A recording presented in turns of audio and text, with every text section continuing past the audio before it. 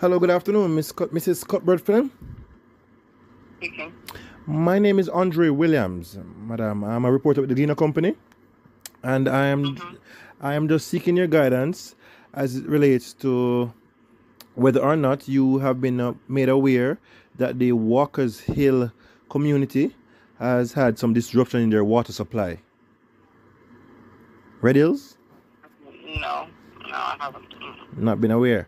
Um, Well, I mean, have you called NWC? well, um, I have reached. call NWC to find out. If, I mean, I don't understand when you said. I don't understand when you said there's a water disruption. For how long? For today? For All right, they they I don't understand. Like, is there a time limit since, since they've had a water disruption? Or is that something that happened today? I don't know.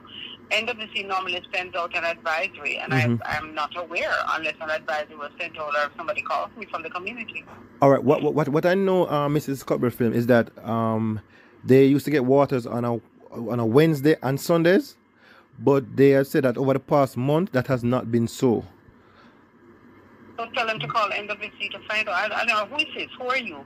No, I, Are I'm you a resident of Walker's Hill? no, madam. I am a reporter with the Gleaner Company.